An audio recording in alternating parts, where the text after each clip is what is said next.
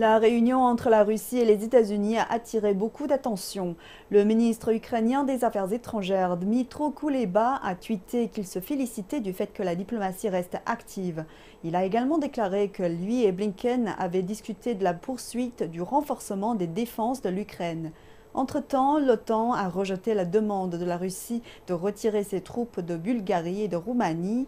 Le Canada a offert un prêt de près de 100 millions de dollars américains à l'Ukraine pour soutenir la résilience économique du pays. L'Estonie, la Lettonie et la Lituanie ont déclaré qu'elles fourniraient à l'Ukraine des missiles anti-chars et anti-aériens de fabrication américaine le président turc Recep Tayyip Erdogan a proposé de faciliter le dialogue entre les dirigeants américains et russes dans l'espoir d'éviter des développements négatifs dans la région.